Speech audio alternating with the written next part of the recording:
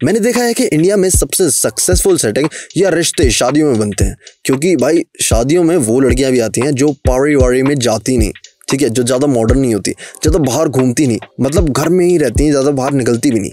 और भाई ऐसी लड़कियाँ होती हैं वाइफ मटेरियल इन लड़कियों के साथ नई नई चीज़ें एक्सप्लोर करने में बहुत मज़ा आता है। इन लड़कियों के साथ नई नई बात करने में बहुत ही ज़्यादा अलग ही चुलबुली सी चीज़ मिलती है, क्योंकि इन्होंने पहले कुछ एक्सपीरियंस किया नहीं होता है सारे लड़कों से दूर रही होती हैं। ये सेट हो जाए ना अगर तो नो लिमिट मज़ा है। बहुत एक स्पार्क सा मिल जाता है ज़िंदगी में। इस वीडियो में मैं आपको तीन ऐसे रूल बताऊँगा, जिससे आप किसी की भी शादी में या मैरिज में या किसी फ़ंक्शन में बहुत आराम से किसी लड़की से बात स्टार्ट कर पाओगे। और एक बार बात स्टार्ट हो गई, फिर तो आपका भाई है ही आपके साथ। रूल नंबर वन किसी भी पार्टी या शादी में जाओ तो बिल्कुल टाइम पे जाओ। अगर सात बजे है तो साढ़े सात तक तुम्हें वहाँ होना चाहिए। इससे होगा ये कि तुम्हें वहाँ का मुआयना करने में आसानी होगी।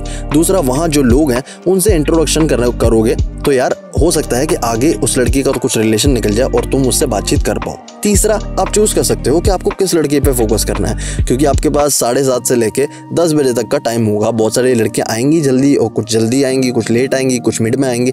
तो आप चूज़ कर सकते हो कि किस लड़की पे कितना फोकस करना है, या फिर ये वाली लड़की जो है, ये मेरे दोस्त की भाभी बन सकती है। रूल नंबर टू कॉन्फिडेंस एक ऐसा अस्त्र है जिसके बिना एक लड़का निर्वस्त्र है। अगर आपके पास कॉन्फिडेंस नहीं है तो आपके पास कुछ नहीं है। पहली लड़ाई जीती जाती है आत्मविश्वास से। अच्छे कपड़े, अच्छे जूते अच्छा स्टाइल अच्छा परफ्यूम और हाथ में कोल्ड ड्रिंक के साथ पारी को एंजॉय करते हुए। थोड़ा थोड़ा म्यूज़िक के साथ अपने पैरों को थिरकाते हुए। डीजे पे जानवरों की तरह नागिन और मेरी डांस नहीं दिखाना है। एक मैच्योर सेंसेबल लड़के की तरह रहो। नाचना भी है तो थोड़ा थोड़ा नाचो, ताकि उसकी नज़र में आ जाओ। थोड़ा थोड़ा उसे देखो थोड़ा थोड़ा उसे देखो थोड़ी सी स्माइल दो। ग्रुप में भी खड़े हो सकते हो, अकेले भी खड़े हो सकते हो, दोनों का अलग इंप्रेशन है। दोनों का अप्रोच करने का तरीका अलग अलग है। अब आता है रूल नंबर थ्री अप्रोच उसके पास जाकर उससे बात करना सबसे ज़रूरी है। ये नहीं करोगे तो गोलगप्पे खाकर मुँह सड़ाकर वापस आ जाओगे। अब उसे अप्रोच करने के बहुत से तरीके हैं, पर सबसे सही तरीका जो है, वो है हाथ में कुछ स्नैक्स लेकर जाओ, उसे ऑफ़र करो। जैसे कि बहुत सालों से उसे जानते हो, बिल्कुल कॉन्फिडेंस से, कोई घबराने की ज़रूरत नहीं। मैंने एक शादी में एक लड़की को अप्रोच किया था। अगर जानना चाहते हो कि वो कैसे गया था तो उसकी पूरी स्टोरी मैं ला सकता हूँ आने वाली वीडियो में। कमेंट में हैशटैग स्टोरी लिखो। जितना ज़्यादा हैशटैग स्टोरी रखोगे उतना ज़्यादा मैं वो तरीका लाऊँगा कि कैसे आप अप्रोच कर सकते हो किसी लड़की को शादी में।